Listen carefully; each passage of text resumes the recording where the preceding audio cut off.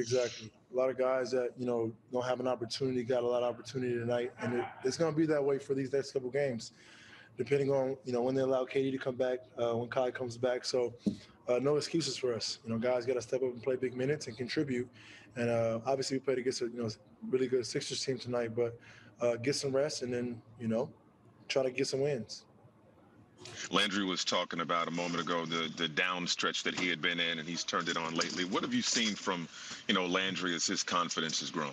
Uh, like you said, we, I mean, Landry can help us in a variety of ways. He's athletic, can shoot the ball, and just very smart, um, and just knows how to play the game of basketball the right way. So, um, you know, hopefully, he can get his confidence back. These last few games, he's been shooting the ball um, better. Um, tonight, obviously, you know, he had you know 20 some points. So, um, as we don't want KD and Kyrie out, you know, this is an opportunity for guys like Landry and Bruce and uh, some of our role players to kind of get their confidence and, and um, you know, get some playing time. And obviously, we don't want to lose, but uh, you know, all of it is a learning experience.